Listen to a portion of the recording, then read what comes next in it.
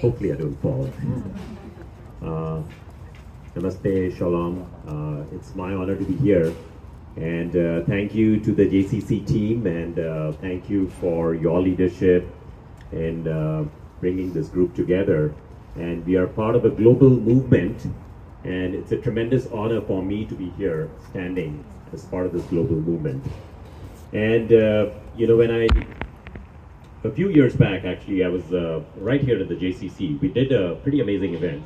It was called Ladus and Latkes. I don't know if any of you were here. Yes, I see some nodding heads. Ladus is, is a is a delicacy from uh, from India, and so it was a merger of uh, our synergies that came together to celebrate Hanukkah and Diwali and and all these uh, celebration of uh, of the darkness to light uh, type of uh, festivals that we have. And uh, we did something on that day that I would like to do a, a repeat today. And it's a very simple uh, chanting of Om. Om is for global peace. When we are wa- wanting to say, let's run for lives, bring them home, you know, we would like to create peace uh, in that region. Uh, I really don't know why. I really don't know why we had a ceasefire on October 6th. I don't know why it was disrupted. Why was it disrupted? And so the calls for ceasefire today are absolutely bogus because we had that ceasefire on that day, October 6th. October 6th. And, uh, you know, as an Indian American, as a Hindu, you know, we have seen us uh, under the gun of terrorism. And that is not good for anyone. That is not good for anyone when we are trying to create an economy, we are trying to create education, we are trying to create empowerment. That's the future that we are creating for our people, for our folks.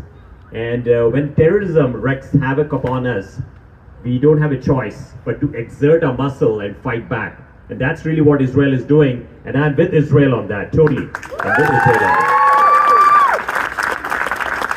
So let's do a simple Om chanting. Uh, it's very simple. Uh, breathe in, take a deep breath uh, in, and then just follow me, repeat after me with Om. Okay? All right, let's do that.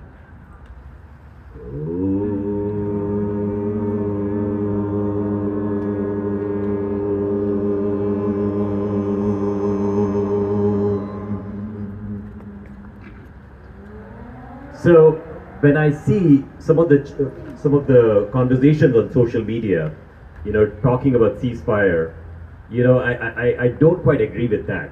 You know, the, the brutality of Hamas was just like it, it has shaken me to the core. Uh, it has been an emotional few weeks because I've met a lot of family members.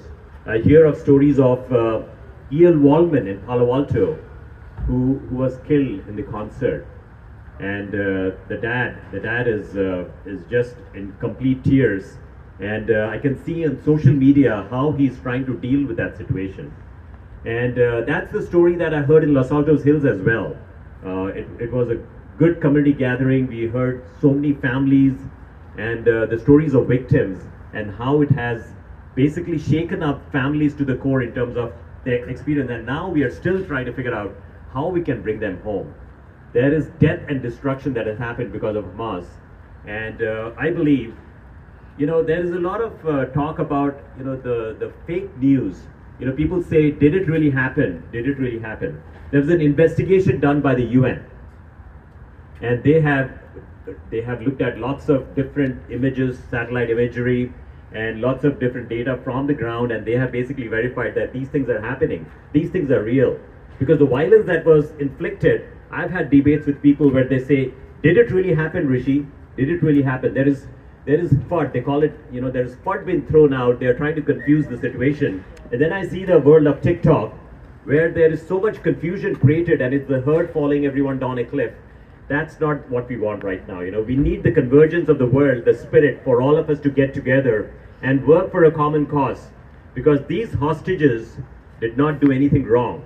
They were captured and uh, it's a human rights violation to have them captured like that. It's a human rights violation to have civilians gunned down by walking into their homes.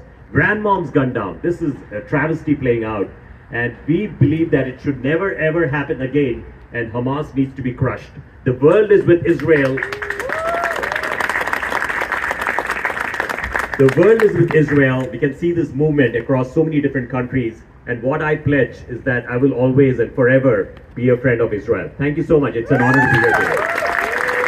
Thank you so much. Thank you so much. This is exactly what we need. This amazing support. Thank you for your warm words. Thank you.